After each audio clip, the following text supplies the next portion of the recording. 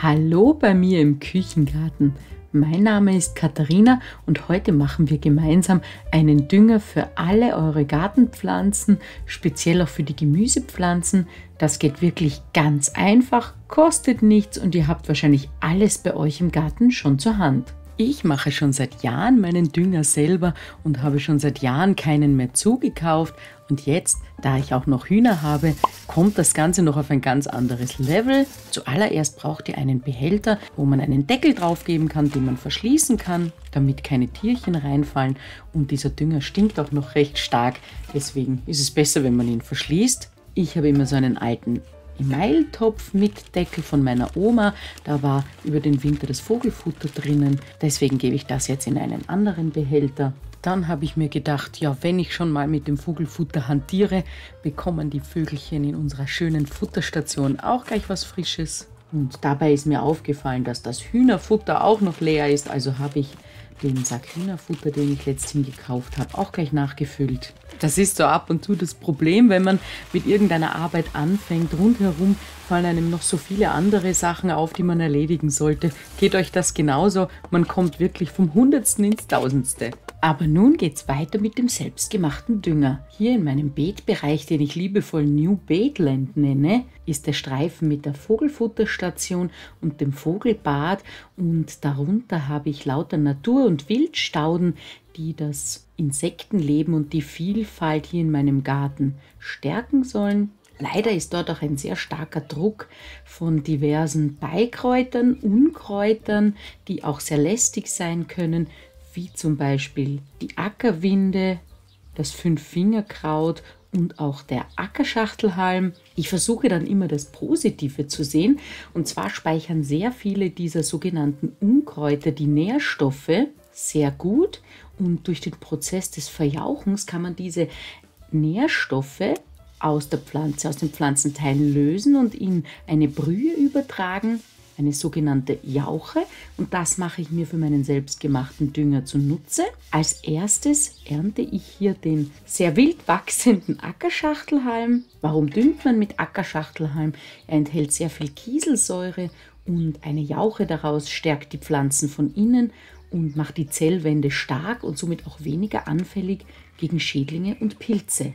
Als nächstes kommt eine sehr wertvolle Zutat, die ich erst seit letztem Jahr selbst bei mir im Garten ernten kann. Und zwar ist das der Hühnermist. Hier ist er besonders leicht für mich zu gewinnen, weil ich einfach das Kotbrett reinigen muss und somit eine ausreichende Menge habe. Mist von Hühnern weist nämlich einen sehr hohen Stickstoffgehalt auf und enthält viel Phosphat und große Mengen an Kalium und Calcium. Also alles das, was in einem guten, gekauften Biodünger auch drinnen ist. Was ich dazu sagen muss, ist, dass es keine Mengenangaben, kein richtig oder falsch für die Herstellung so einer eigenen Jauche gibt.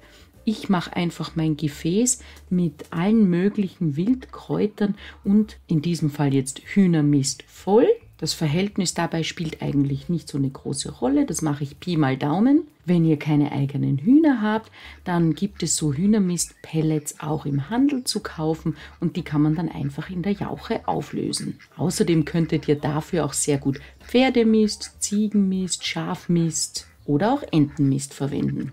Als nächstes geht es zu einer meiner absoluten Lieblingswildstauden, dem Beinwell.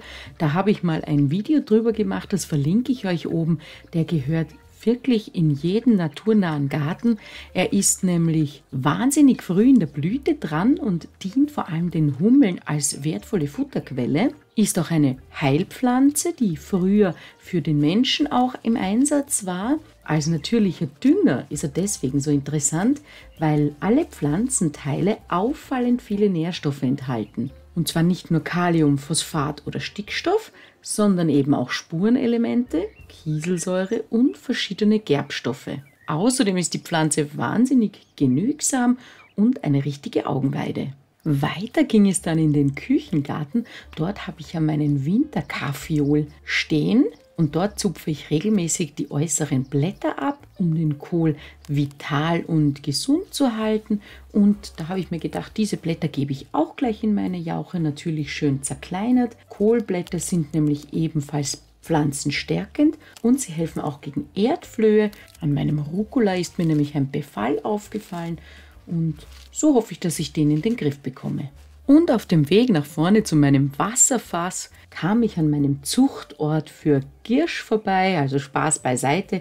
Die meisten von euch kennen wahrscheinlich dieses sehr starkwüchsige Wildkraut, eignet sich auch wunderbar für eine Pflanzenjauche, da er sehr reich an Kalium ist und vor allem von stark zehrenden Pflanzen wie Kartoffeln, Gurken, Tomaten, Paprika oder Kürbis geliebt wird. Jetzt, da mein ganzer Topf voll ist, übergieße ich ihn komplett mit Regenwasser, sodass alle Kräuter bedeckt sind. Regenwasser ist natürlich das Beste für die Pflanzen. Wenn ihr nur Leitungswasser habt, dann lasst das ein paar Tage draußen an der Luft stehen, damit sich das Chlor verflüchtigt. Dann könnt ihr das auch problemlos verwenden. Da das ganze organische Material beim Verjauchen richtig anfängt zu stinken, gebe ich als Geheimzutat noch Urgesteinsmehl hinein, circa eine Handvoll. Dieses bindet den Geruch und führt der ganzen Jauche noch weitere Mineralstoffe hinzu.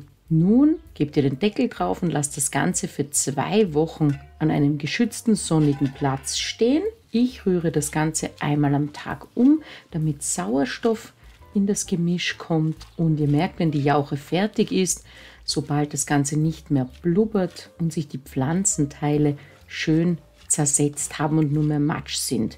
Diese ganzen Pflanzenteile siebt ihr dann aus, entfernt ihr und dann ist eure Jauche fertig. Die könnt ihr dann aufbewahren und bei Bedarf einsetzen. Ich verwende sie immer 1 zu 10 verdünnt. Die ist natürlich jetzt sehr stark und ich bemühe mich damit immer nur den Boden zu gießen und nie über die Pflanzenteile selber, da das zu Verbrennungen führen kann. Das war's von mir und meiner selbstgemachten Jauche, meinem selbstgemachten Dünger. Probiert es aus, es zahlt sich absolut aus. Wenn ihr Fragen habt, gerne unten in die Kommentare. Auch über Anregungen bin ich sehr dankbar. Danke fürs Zuschauen und bis zum nächsten Mal hier bei mir im Küchengarten.